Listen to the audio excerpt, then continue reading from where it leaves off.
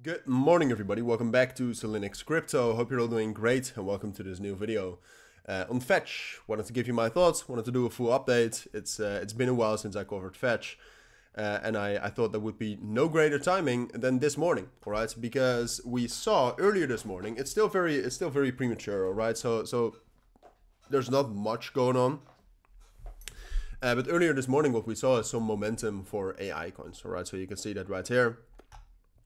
AI coins like WorldCoin, AGIX, Render, Fetch, Ocean became relatively bullish. Um, there's still just in general like the AI narrative hasn't uh, popped off in in some time, and I this could be the start of it, but I don't think that's confirmed yet. All right, because what you see is that we did saw some see some momentum earlier this morning, uh, but we're also still very correlated and very dependent on Bitcoin. All right, Bitcoin dominance right now is still very very high.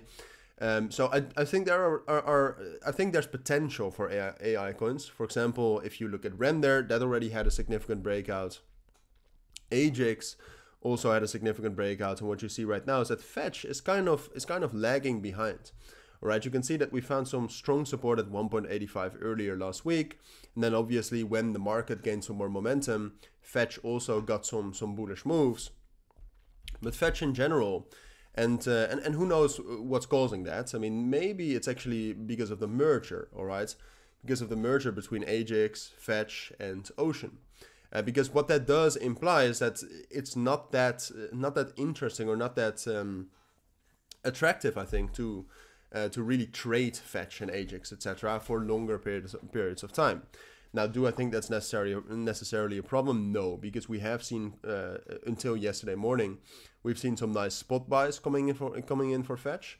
Um, but the fact that trading it is a little bit less attractive right now because, and the simple fact is, is that if they get merged into one token, all the positions you have in, in leverage trading on these coins will be closed.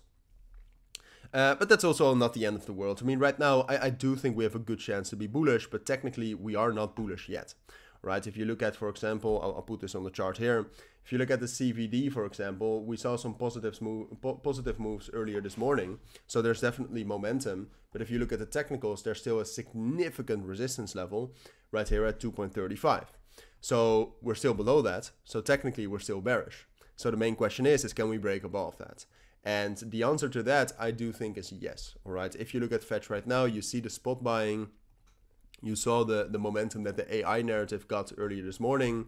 I do think there's a good chance that this is the start of some sort of a new AI narrative, uh, or at least for the AI narrative to pop off again. Uh, Nvidia earnings are later this month, so that could be a fundamental event that we could work towards. Um, but it is still dependent on Bitcoin. All right, I think it's most likely that Bitcoin will stay bullish, and that's also why I think the AI narrative has a chance to pop off here. And that's also why I think it's most likely that eventually Fetch will break above 2.35, will rally back up to 2.55 and probably higher.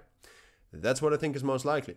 But on the short term, because it's Sunday, because Bitcoin has some strong, resistance here, I think it's more likely we'll just kind of consolidate here until we get that momentum from Bitcoin. And if we get that momentum, then we'll break out and then everything is good. But for now, I would still wait for some, some, some more confirmation, all right, in general. Uh, but those are my thoughts. There's a little bit of a short video, but there's not, not nothing nothing more I want to say about this. So if you do have any questions, let me know down in the comments. Uh, but for now, thank you for watching. Take care and bye.